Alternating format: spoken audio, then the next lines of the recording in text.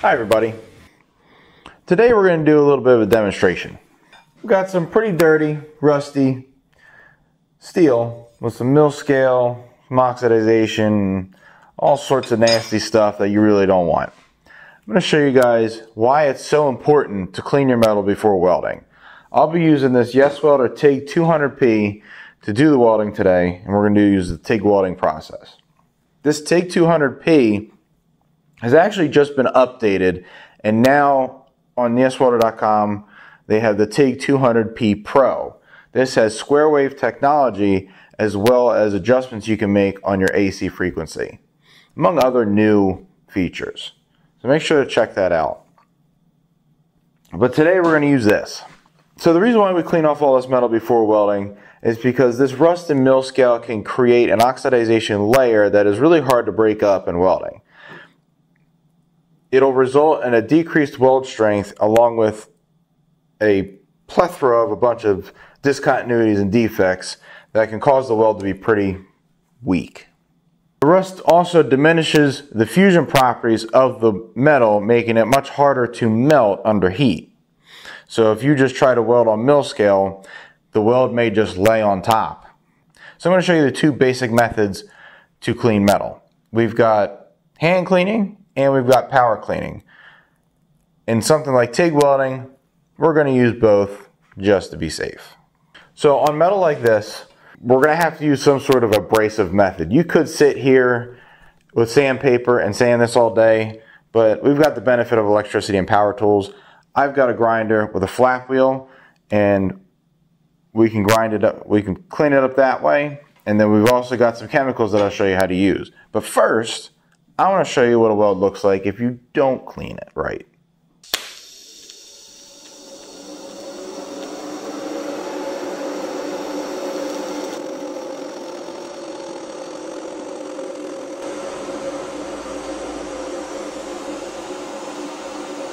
Ay, ay, ay. Oh, and it stinks too. That's not a good smell. So you can see the contour is lost in the TIG weld, and there's all this crap that almost looks like slag covering the weld. No good. You can kind of see the ends of the weld. We say all the time that this stuff should look like a broken file.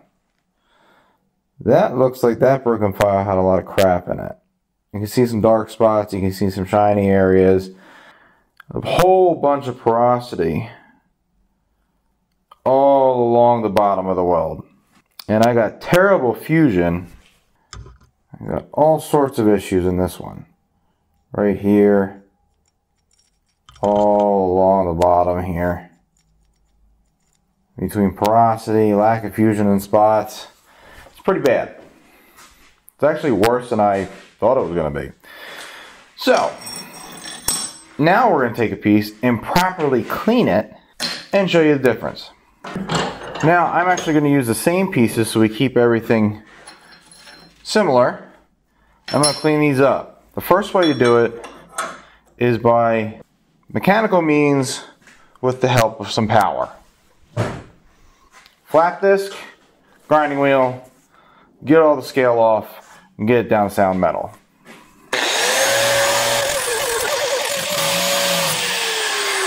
Sanding part is done. Because TIG welding has to be super clean, I am also going to take some chemicals and clean this up. I have here pure acetone. Now the acetone will not break down oxides or rust, but it will get all or any of the dust and debris that is sitting on top. Some of the sanding pad that wears off could lay on here, um, any dust in the air, stuff like that. The cleaner the better. Oh yeah, and that smells like glory. Okay. That there are two pieces of clean metal that I can now join into one. And I'm going to fit this up. Burn my T to TIG 200P back here. And fit it up and weld it out again. It is also important to clean your filler metal off too. Because your filler metal sitting by your bench will collect a lot of dust and debris.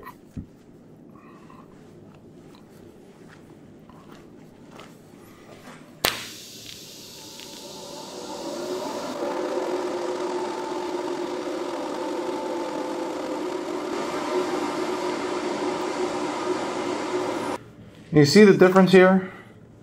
I can see everything that's going on in this puddle. Matter of fact, I got a little bit of underfill right here. But ignoring all that, there's no dirt sitting on the top, no shiny spots, no porosity. Let's see if I can break this one off and see what's underneath this one. Oh. Well, you can see the difference already. I go to break that thing off and it starts bending the metal. That wet in a lot better. I don't see any porosity. That color change is from me breaking the weld open while it was still very hot. And of course, as you can see, trying to break that one apart, that little weld bent this piece of eighth inch plate. But you can see a very clear difference. You can see a very clear difference. Well, as you can tell, there's quite a difference between the two. Welding on dirty metal might look good. Might look like you get away with it. But then you break that weld apart and the strength and clarity of the weld it's quite clear which one's stronger. The dirty one up here, I didn't have to bend the metal up in order to get it to break and there was all sorts of porosity, lack of fusion, and all sorts of other things. This one ended up being nice and clean.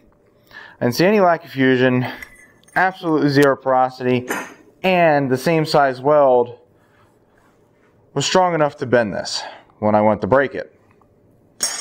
Telling me a clear difference in tensile and shear strength. So clean your metal.